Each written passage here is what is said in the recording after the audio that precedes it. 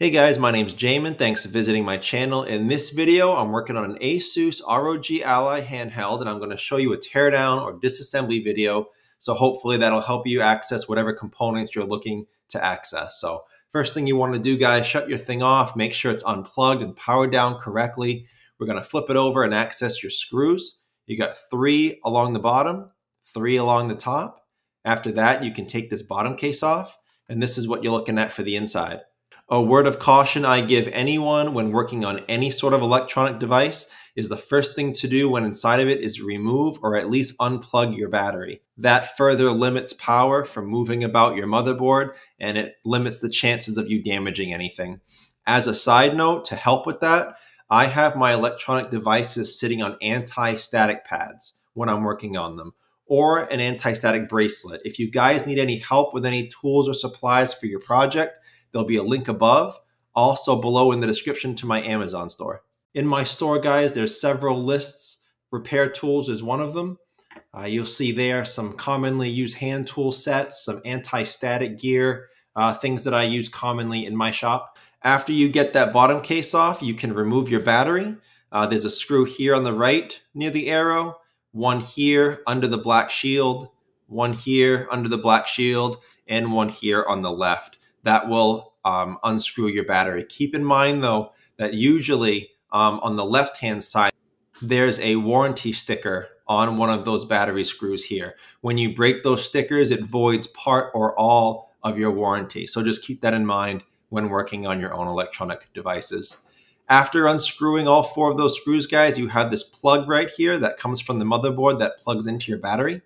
Instead of pulling on the wire, which is never a good idea, uh, take the actual white plug out. You can do that if you can get your fingernails on each side of those grips, maybe a small pair of pliers, a plastic pry tool, something other than pulling on that cord. After you get that out, you just have this ribbon cable that's attached to your battery by double-sided tape that needs to be unplugged. Uh, each side is the same. You have a gray clip that you pop up and the ribbon cable will release. Be careful with these, they're very fragile. And when you break those, you've kind of ruined the board. So be very careful. But once you unplug those uh, ends of the ribbon cable, the battery will be released. After you undo your battery, this is what you're looking at.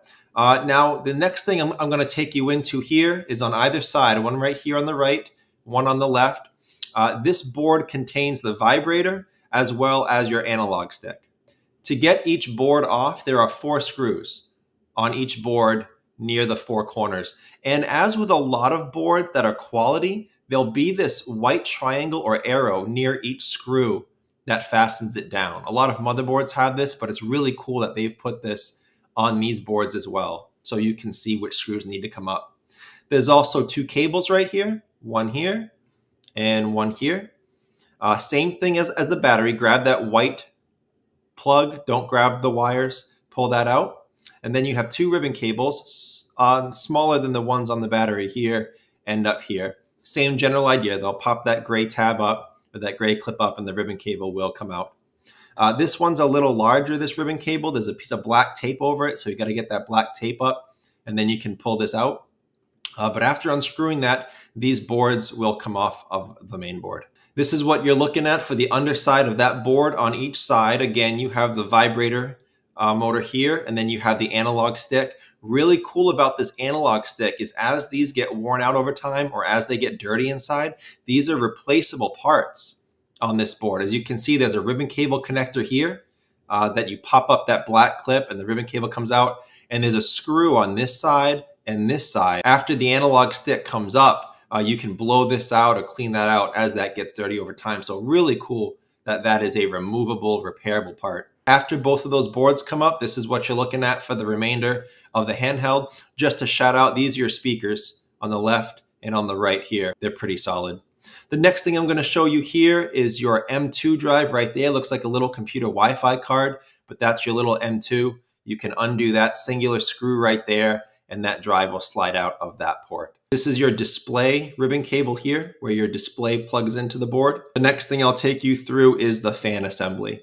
So in the fan assembly, you have a screw here, a screw here, and then of course these four screws over the, the middle of the heatsink assembly. And again, there's a warranty uh, sticker there. So just again, again, keep that in mind. Once you get that heatsink assembly up, this is what you're looking at for your motherboard. Now, if you want to go deeper, if you're here to replace your, your push buttons or anything, or your motherboard, uh, just go around the motherboard and look for those white uh, triangles or arrows to show you the motherboard screws. So you get one right down here on the bottom, right down here. You get one there, here, here, here. Again, you just go around looking for those white triangles. You can get all those screws out. And then you also need to unplug your speakers right here.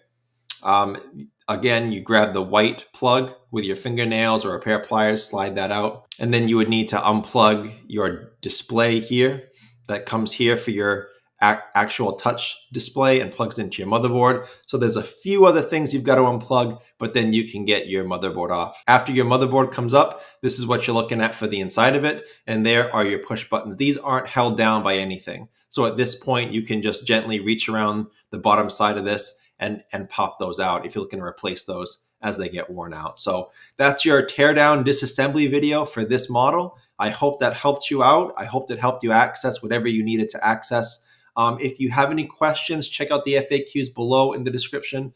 I do try to keep those updated. If you need to leave me a question or comment, please feel free. I do try to get to those a couple times a day at least.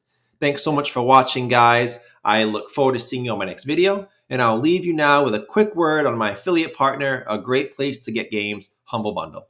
At Humble, guys, you can get the latest games at great prices. They also have great ways to save when you're buying. You can bundle your games together in a purchase instead of buying them one at a time. You can also join Humble Choice, which is a monthly subscription service that gets you free games every month.